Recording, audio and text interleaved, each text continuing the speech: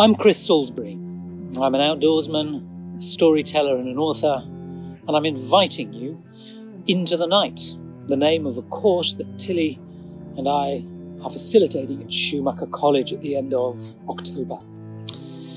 Follows the publication of my book, Wild Nights Out, which details uh, all of the delights, all of the mysteries and treasure that awaits us once the sun has set, this forgotten realm, the night time. another path to deeper connection to the wonderful, mysterious wild world. So the course is going to uh, take us on some excursions um, from indoors to outdoors, from daytime into night. We will gaze at the stars, we will paddle the river at night, we will sit in the dark, we'll sing to the dark. There'll be poems, there'll be stories, there'll be firelight, there'll be a wonderful syllabus of uh, acquainting with the nighttime in the dark.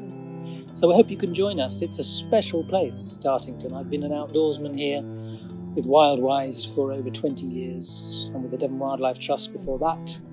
I've written about the dark, told stories about the dark for a very long time.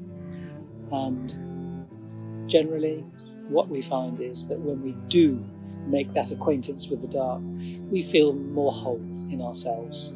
So do expect you know, a fun week, an intriguing week, a stimulating week, but also a meaningful week. Very much looking forward to seeing you on this trail.